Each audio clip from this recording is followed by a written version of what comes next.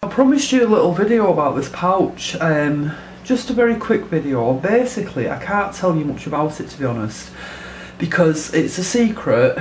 Well, it's not very secret now, is it? But it, it's a surprise for somebody. They don't have a clue, you know, what this is for, and I can't share that with you either. I just, you know, um, I shared it with the girls in Simply Stitch because I made it as part of that process of those eight weeks but in terms of why I've made it and what it's for, I really can't say. You know, I might be able to say at some point in the future, but not yet, because it's really, really important that it remains a secret and, and private for now. Anyway, so I made it in the normal way, really, of the pouches. I embellished the surface, etc., and it's got a lining. It's got a silk lining, so you know you can put stuff in there. Um, but it's also got something I haven't done before. It's got an extra inner pocket Okay, and that's what those petals were for. So that inner pocket is silk with applique petals and hopefully the photographs will show these off um, better than you, you know, you can see them in here. Although I might pull in slightly in a minute or maybe not because sometimes it blurs.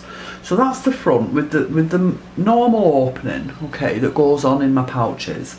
But then with this extra pocket in here, which believe me, wasn't as simple as it might look. It was uh, a bit of a nightmare to be honest.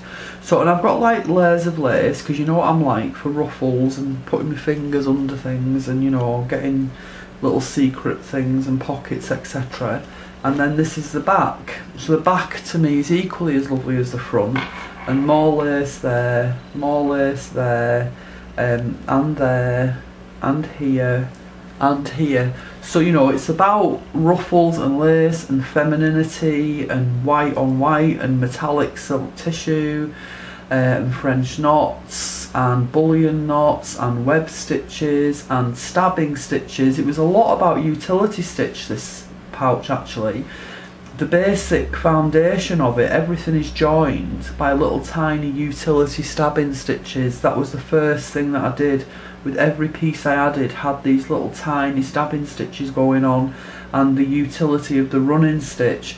And that was to reference you know women from the past you know I'm always banging on about stuff like that. So that's very much a part of it as well. And then the edges have all been finished with buttonhole stitch two rows of buttonhole stitch because that's what I do anyway but it was more significant with this pouch because um, it was about adding the extra, going the extra mile, you know, so that's why that was done as well this time. And even here, that that one is finished with the buttonhole stitch. This one isn't on that edge because I didn't want to spoil the applique, but on the internal edge, that's got the buttonhole stitch as well.